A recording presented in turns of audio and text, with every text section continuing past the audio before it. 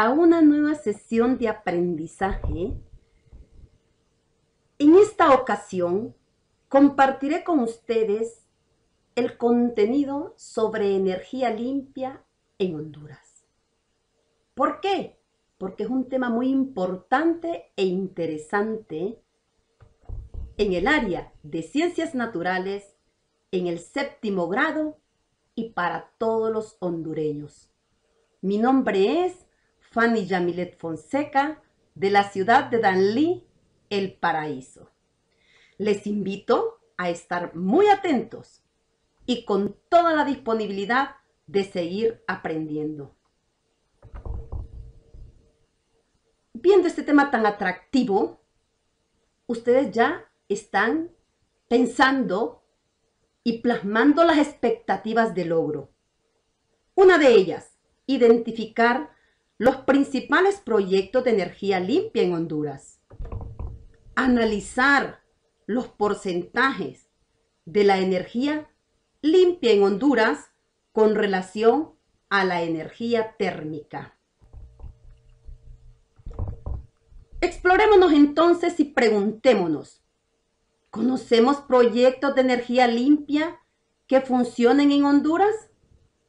¿Cuáles son los porcentajes que generan esa energía limpia en Honduras? Veamos entonces este gráfico circular o de pastel, donde nos proporcionan centrales generadoras en Honduras. Y aprendemos que en el gobierno de la República, a través de la Empresa Nacional de Energía Eléctrica, ENE, fomenta la inversión en energía renovable. En razón al anterior, la ENE ha orientado sus acciones en el desarrollo, ampliación, modernización y optimización del servicio eléctrico a través de la generación de energía limpia la que actualmente alcanza un 61% de la matriz eléctrica nacional contra un 39% térmica. Veamos entonces que la central general del sistema hondureño totaliza una capacidad de 33.4% lo conforman plantas hidroeléctricas como lo pueden ver en el gráfico. Francisco Morazán, Río Lindo, Cañaverales, El Níspero, etc. También tenemos plantas térmicas, propiedades de la ENE, conformando por, por un 4.6%. ¿Cuáles tenemos aquí? Santa Fe, la puerta Hitachi, la puerta General Electric, turbina de gas, como también el mayor porcentaje que lo tienen las compañías privadas de generación que están en un 57%, como cuáles? El COSA, que son plantas de diésel de media velocidad. Tenemos también arrendamientos privados. Tenemos ENERSA. El menor porcentaje de estas centrales se encuentra en un 0.8%. Zacapa, La Nieve, la Esperanza, Babilonia, Río Blanco. También existen plantas de biomasa propiedad privada, que se encuentra en un 4.3% como lo refleja el gráfico. ¿Quiénes encuentran ahí? La Grecia, Casa, etcétera. Entonces, al escuchar estos porcentajes, nos preguntamos, ¿qué fuentes de energía limpias, qué proyectos existen en Honduras? Uno de ellos es la planta hidroeléctrica El Cajón. La central hidroeléctrica Francisco Morazán, llamada El Cajón, está situada en el curso del río Comayagua, en el departamento de Cortés. También es la quinta represa más alta de América, la decimosexta más alta en el mundo. Además, es la represa en arco más alta del hemisferio occidental y la sexta en el mundo.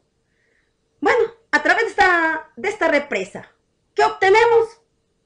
Gran parte de la energía del país. En ella hay más de 50 mil galones de agua, como también hay un proyecto hidroeléctrico como es el proyecto Patuca 3, ubicado en el departamento del Paraíso. También, ¿verdad? Para una materia de energía limpia. Tenemos también los parques eólicos. Esto, el ejemplo que aparece en la imagen, es del Cerro de Ula. Se encuentra en el municipio de Santa Ana, en el departamento de Francisco Marazán, cercano a nuestra capital, Tegucigalpa. Este Cerro de Ula es el primer parque eólico instalado dentro del territorio hondureño. Su nombre se debe a que está construido en el Cerro de Ula. Eh, primeramente, como se construyó como una solución a la producción eléctrica en el país. Bueno, dicho proyecto comenzó a producir cierta cantidad de megavatios, luego fueron aumentando en el 2011 y asimismo están encaminadas a futuros proyectos como cuáles. Está el Parque Eólico Jicatuyo, Parque Eólico Los Llanitos y otro en el municipio de San Marcos de Colón en Choluteca, según datos de la AN. Ahora tenemos una planta solar. Pueden ver la imagen de la derecha de su pantalla. Esta planta está al sur de Honduras, en el departamento de Valle. Se inauguró la primera planta solar fotovoltaica en nuestro país, convirtiéndose esta, vean qué interesante, en la más grande de Centroamérica. La segunda más grande de Latinoamérica y la tercera más grande a nivel de América, porque el primer lugar lo ocupa México, segundo lugar Chile y tercer lugar Honduras con esta planta solar de Nakaomi. Bueno, la planta solar está compuesta por módulos fotovoltaicos y estos ocupan una hectárea de 16 kilómetros y 22 kilómetros de carreteras internas. El proyecto cuenta con una subestación eléctrica con capacidad de transformación de 150 megavatios, con sistemas de control de última generación, por eso ocupa el primer lugar de Centroamérica. Muy importante información que ustedes como adolescentes deben de conocer de nuestra Honduras lo positivo que tiene. Bueno, hablamos de las plantas solares, hablamos ya de lo que tiene Honduras. Ahora hablaremos de una planta solar ubicada en el departamento de Copán. Esta se inauguró en el año 2017. Fue la primera planta geotérmica ubicada en el departamento de Copán. La energía geotérmica, geotérmica, ¿qué nos proporciona aquí? Una carga, como decimos, 24/7 es altamente confiable. Eh, prácticamente no produce emisión de dióxido de carbono. Es más barata y limpia para otros tipos de energía. Según el gerente de la empresa generadora EDNE, esta planta geotérmica vino a resolver un problema técnico de caída de voltaje en Santa Rosa de Copán. Además, mejoró y estabilizó la calidad del servicio de la zona está completamente interconectada. Escuchen bien, qué importante, desde Santa Rosa de Copán hasta el sur de Copán y todo el departamento de Ocotepeque. En Honduras, parques solares. Esta energía solar se ha experimentado un crecimiento rápido en los últimos cuatro años en Honduras. En el 2016 La NE reportó la operación comercial de 13 plantas con capacidad instalada de 409 megavatios. Para septiembre de este año, el número de granjas solares registradas fue de 15 con la capacidad de 445.9 megavatios.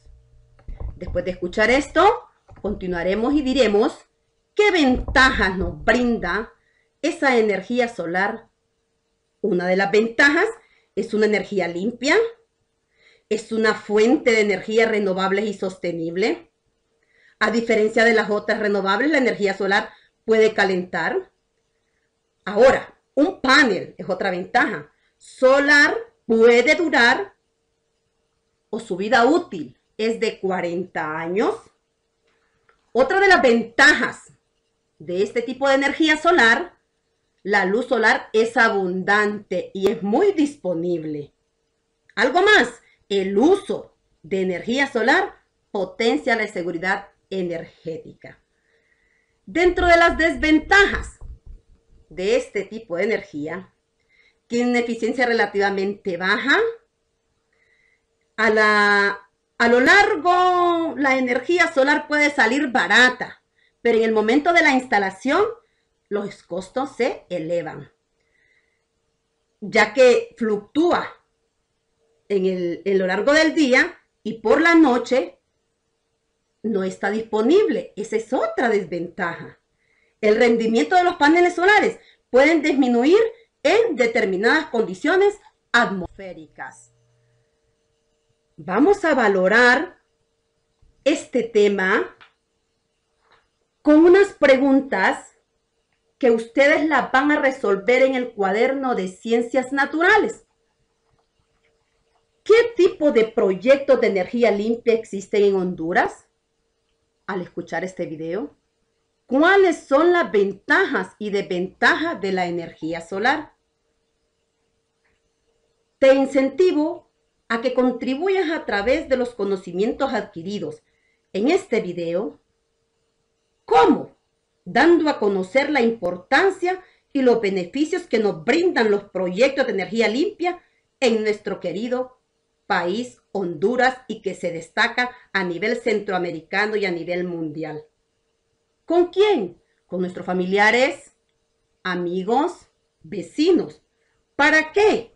Para mejorar continuamente nuestro medio ambiente y tener alternativas de energía solar, que es muy importante para la mejora continua de nuestro medio ambiente. Quédate en casa, sé responsable, no estás de vacaciones. La vida, chicos, es como una bicicleta. Para mantener el equilibrio, tienes que seguir adelante. Albert Einstein. Hasta la próxima. Que Dios le bendiga.